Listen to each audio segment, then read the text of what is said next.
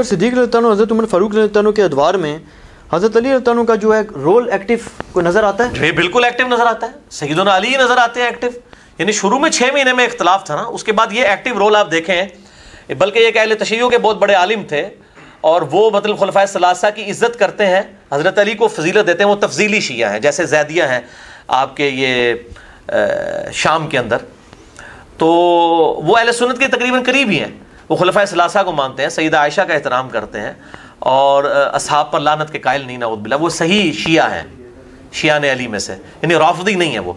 تو وہ ان سے میری بات ہوئی انہوں نے لیکچر میں کہہ دیا کہ حضرت عمر جو ہے وہ اگر دیکھیں نا جی ان کی اگر نیت ہوتی نا حضرت علی کو بنانے کی، تو حضرت علی کا اکیلے کا نام لیتے انہوں نے یہ چھ رکنی کمیٹی اس لیے بنائی کہ جی وہ مطلب معاملے کو الجھانا چاہتے تھے۔ تو آپ دیکھیں ناؤز باللہ من ذالک۔ تو میں نے ان کو بعد میں پکڑ لیا۔ اب میں نام نہیں لیتا آپ کو پتا ہے جن کا کل فون آیا تھا۔ جی ٹھیک۔ انہیں کی بات کر رہا ہوں میں۔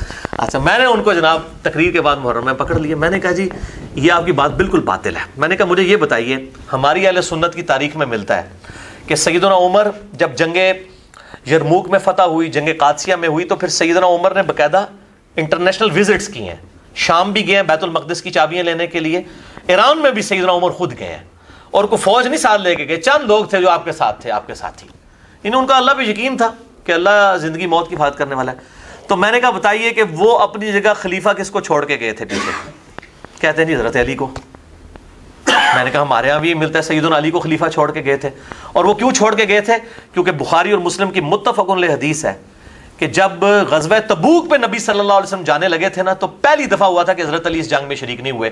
حضرت علی کو آپ صلی اللہ علیہ وآلہ وسلم اپنی جگہ مدینے میں خلیفہ چھوڑ کے گئے تھے۔ ٹھیک ہے؟ اور پھر اس موقع پہ آپ نے فرمایا تھا، بخاری و مسلم کی متفق الحدیث ہے اور بخاری نے حضرت علی کے فضائل پہ پہلی حدیث ہی لی ہے اور مسلم نے بھی۔ کیا علی حضرت علی رو پڑے کہ مجھے بھی ساتھ لے گیا ان کا علی، تو اس بات پہ خوش نہیں کہ تیری میرے ساتھ وہی نسبت ہے جو ہارون کی موسا کے ساتھ، مگر میرے بات کوئی نبی نہیں۔ یعنی موسا بھی جب کوہ طور پہ گئے تھے تو حضرت ہارون کو چھوڑ کے گئے تھے، تو میں تجھے چھوڑ کے جا رہا ہوں۔ تو اس کو رافضی اپنی طرف لے جاتے ہیں، وہ کہتے ہیں جی اس سے ثابت ہوا کہ خلیفہ ہیں وہ۔ حالانکہ حضرت ہارون جو ہے حضرت موسا کی زندگی میں فوت ہوئے ہیں۔ حضرت ہارون کا خلیفہ موسا حضرت موسا کے خلیفہ ہارون نہیں بنے، بلکہ جوشوا بنے یوش ابن نون۔ اور دوسرے ناسبی جو ہے نعوذ باللہ شاہ جی آپ کو پتا ہے، وہ اس کے دوسرا مطلب نکالتے ہیں۔ اتنے خبیص ہیں یہ۔ وہ کہتے ہیں جی اس سے پتا چلا کہ جیسے حضرت موسا چلے گئے اور ہارون کو چھوڑ کے گئے تو پیچھے امت میں اختلاف پیدا ہو گیا۔ تو علی کی وجہ سے پیچھے اختلاف پیدا ہو جائے گا۔ دیکھیں، ایسی جناب ایسی طریقے سے نا وہ پوائنٹ نکالتے ہیں۔ پھر ٹھیک ہے، میں کہا تو پھر اگر سنیوں کے رافضیوں، سنیوں میں گھسے ہوئے ناسبیوں نے حرکتیں کرنی ہے پھر شیعہ کے گھسے ہوئے رافضی بھی اس طرح کی حرکتیں کرتے ہیں۔ پھر دونوں جسٹیفائی ہیں نا۔ ظاہر دونوں نے گمراہی کمانی ہے نا۔ وہ تو حدیث پوری ہونی ہے نا، جو موقوفاً روایت ہے۔ سیدنا علی کا اپنا قول ہے اور جب غیبی خبر غیبی خبر ہو اور موقوفاً ہو کسی صحابی سے، وہ نبی کے بتانے پہ محمول ہوتی ہے، صحیح صنعت کے ساتھ ہے۔ فضائل صحابہ کتاب احمد بن حنبل، یہ اب چل ضمن آ گیا، میں اس کتاب کا بھی تعارف کروا دوں۔ یہ پہلی دفعہ یہ کتاب الحمدللہ ہمارے جہلم شہر سے چھپی ہے۔ امام احمد بن حنبل رحمہ اللہ کی کتاب فضائل صحابہ، دنیا میں فضائل صحابہ کے اوپر سب سے بڑی یہ کتاب ہے۔ انیس سو تین احادیث ہیں، انٹرنیشنل نمبر کے مطابق۔ اور یہ تحکیم ایک عرب اسکالر کی تحکیم کے ساتھ چھپی ہوئی ہے شیخ وسیع اللہ بن محمد عباس کی تحکیم کے ساتھ، اردو تجمے کے ساتھ شائع ہو چکی ہے۔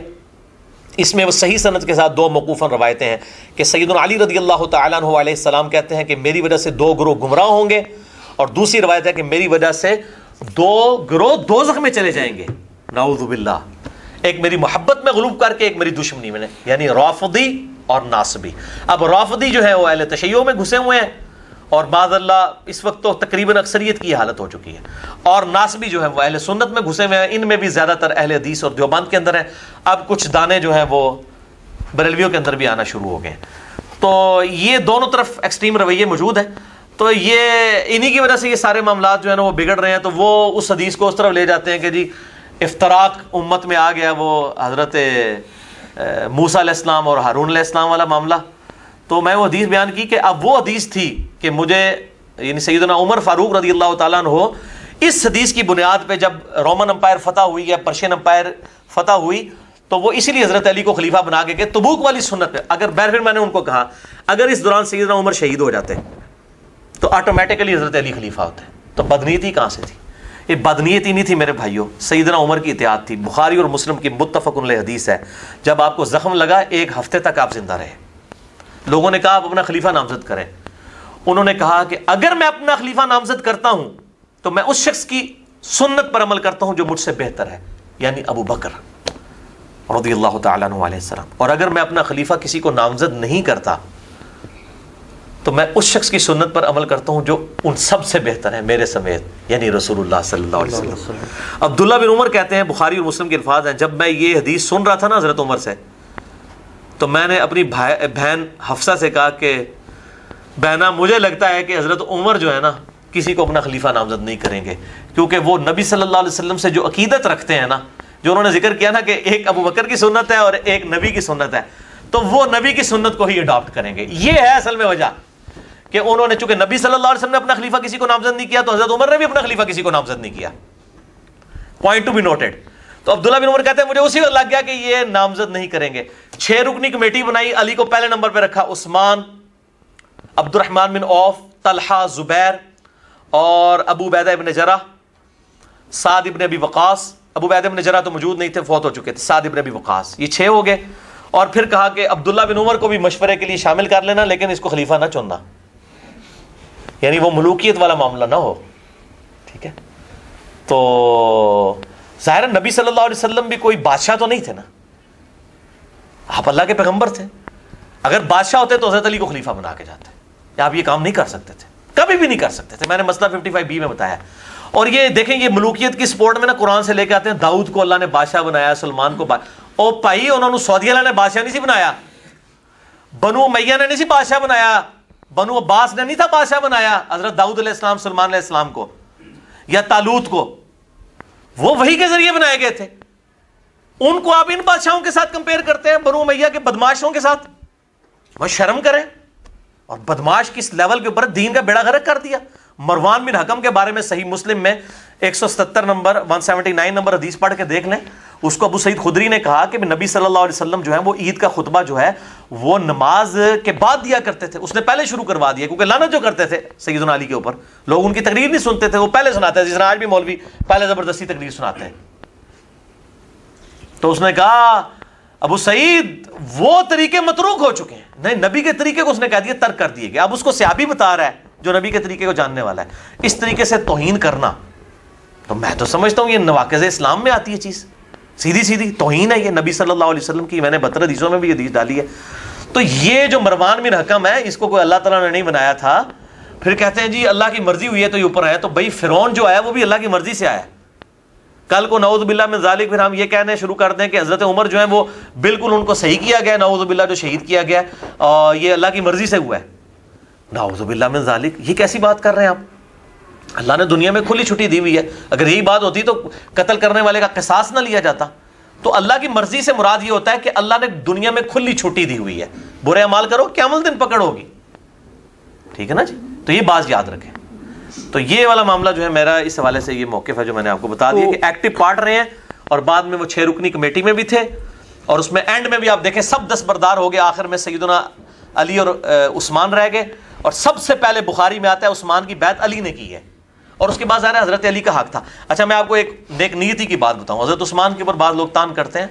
ہمیں بھی کئی معاملات میں ان سے اختلاف رائے ہے، لیکن ہم تان نہیں، نعوذ باللہ کرتے خلیفہ راشد ہیں، تو ظاہر ہے پھر ساری معاملہ۔ حضرت عثمان کے بارے میں کہتے ہیں جی وہ حضرت علی کی جگہ کے لیے مخلص نہیں تھے، نعوذ باللہ۔ میں کہتا ہوں، حضرت عثمان کے اندر ذرا سی بدنیتی ہوتی نا، تو صحیح بخاری میں آتا ہے کہ آخری حج کے دوران ان کی نقصیر پھوٹ پڑی جب ان کی عمر بیاسی سال تھی۔ لوگوں نے ان کو کہا کہ اپنا خلیفہ کسی کو نامزد کرے ان کا بیٹا ابان بھی موجود تھا۔ اور لوگ بھی موجود تھے، بلکہ مشورہ آیا جی طلحہ کو بنا دیں، زبیر کو بنا دیں۔ اس قسم کے مشورے آنا شروع ہو گئے۔ حضرت عثمان نے نہیں کسی کی بات مانی۔ اگر حضرت علی سے بغض ہوتا نا، تو وہ کہتے ٹھیک ہے، میں اپنی زندگی میں بنا دوں تاکہ علی بن نہ سکے۔ بالکل نہیں، وہ یہ کام نہیں، وہ امت کو شورا کے اوپر چھوڑ کے جانا چاہتے تھے۔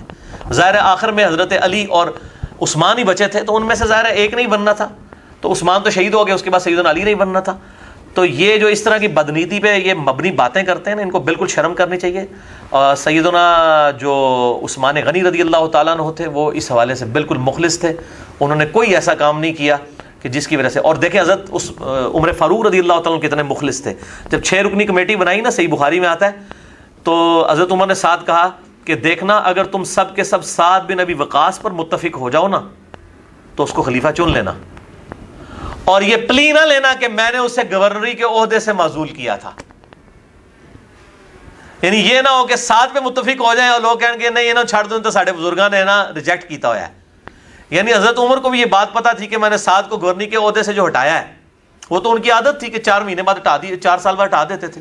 وہ تو حضرت معاویہ کے چار سال پورے نہیں نہ ہوئے حضرت عمر کے دور میں، ورنہ ان کو کسی اور عہدے کا گورنر، کسی اور صوبے کا بنا دیا جاتا۔ تو باقی آپ دیکھیں کتنے مخلصانہ الفاظ ہیں۔ اگر ساتھ پر بھی متفق ہو جاؤ تو میرا اس کو معذول کرنا بہانہ نہ بنانا، اس کو چن لینا۔ ٹھیک ہے؟ تو یہ الحمدللہ ان کی نیک نیتی تھی۔ آپ ڈیپ ڈگ کریں گے، آپ کو ساری حدیثیں الحمدللہ ملیں گی۔ جی شاہ جی۔ اچھا جی بھائی آپ